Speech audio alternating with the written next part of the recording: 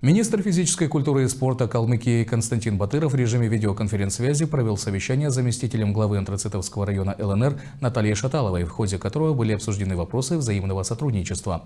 В совещании приняли участие руководители ДЮСШ с антрацита и спортивного комплекса. Они рассказали, что здания, в которых сейчас занимаются дети, были построены в 1967 году и на сегодняшний день нуждаются в капитальном ремонте. Витражные окна выбило снарядами, а спортивный инвентарь нуждается в замене, нет даже футбольных мячей. ДЮСШ «Антрацита» работа ведется по шести отделениям – волейбол, вольная борьба, спортивная гимнастика, плавание, шахматы и футбол. Спортивные секции посещают 513 детей, а тренеров всего 15. Батыров предложил наладить работу между Минспортом Калмыкии и спортивными организациями «Антрацита», чтобы дети из ЛНР имели возможность регулярно тренироваться, готовиться к соревнованиям на базе региональных спортивных организаций с лучшими атлетами Калмыкии.